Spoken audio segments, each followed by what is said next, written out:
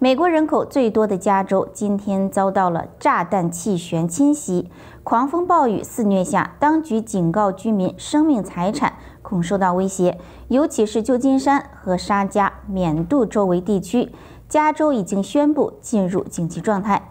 法新社报道，气象预报员表示，这次气旋带来时速高达一百一十公里的阵风及豪雨。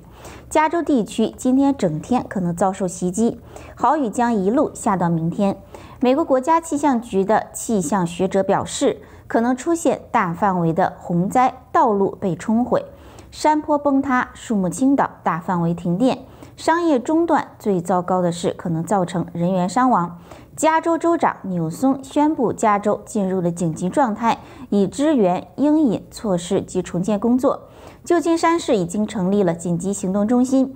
全美电力供应状况追踪网站表示，数十个进出旧金山市的航班已取消或改期，同时有约六万户家庭没电可用。旧金山市民斯里瓦斯塔瓦告诉哥伦比亚广播公司：“我们非常担心。”我花了一整天在车库前的每个入口处堆放沙包，并且祈祷，希望不会造成更多损失。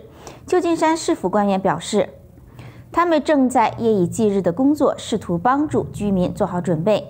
旧金山市公共工程部门官员高登说：“我们一直非常努力地从加州北部各地取得沙包。”他也警告市民务必认真看待这次风暴。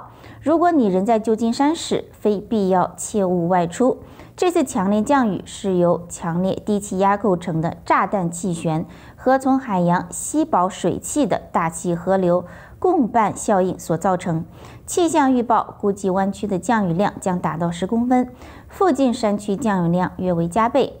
内华达山脉积雪厚度将达到一点二公尺。